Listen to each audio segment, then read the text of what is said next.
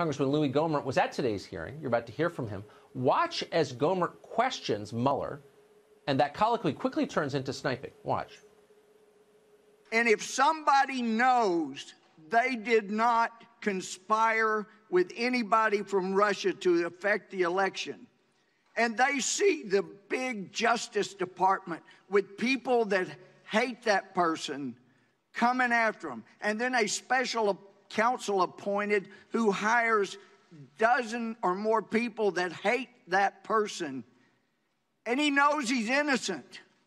He's not corruptly acting in order to see that justice is done. What he's doing is not obstructing justice. He is pursuing justice. And the fact that you ran it out two years means you perpetuated injustice. I take your, I take your Gentleman's question. time has expired. The witness may answer the question.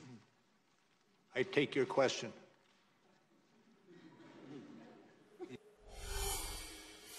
Congressman Louie Gohmert of Texas joins us tonight. Congressman, thanks for coming on. So you were there. You spoke to the former special counsel. What, what was your assessment of his condition, of what he said after talking to him? Well, he is uh, older. He's lost a rung or two on the ladder, but uh, uh, I was telling our guys um, early on, right after he started, uh, there's no question his staff has been telling him if you mention the report, he's going to ask you which volume, which page. He's going to take up as much of your five minutes as he can.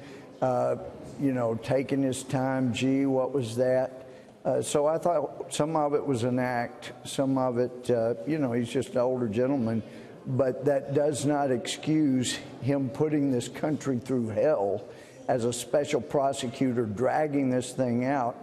I don't know if you were aware, but back last summer, uh, I was on with Harris Faulkner, and she was saying, "Well, Rudy Giuliani's saying he's going to be done for the end of the summer. He doesn't want to elect the election." I said, "He doesn't know Mueller like I do. This guy's going to keep this thing going as long as he can, and he's certainly not going to end it before the 2018 election." I knew the guy. I knew he wouldn't do that.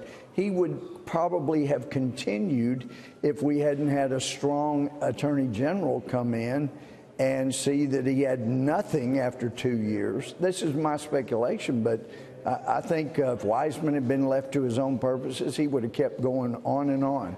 So, so I do may, think may, we. May, I ask you to pause there sure. and just clarify yeah. something, Congressman? So you're saying that from what you know of the information he gathered, he could have wrapped this up before the midterm election in 2018? Yeah, yeah. he was careful to say he wasn't going to answer when he knew that uh, there was no conspiracy, collusion, whatever you want to call it, but law calls it conspiracy.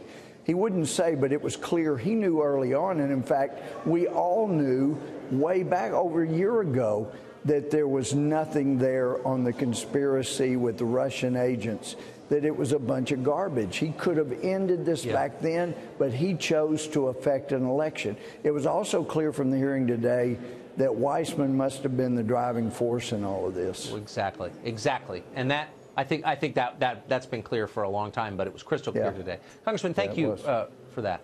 Good, Tucker, good to see you. thanks for your clarity. You've you've seen it all along.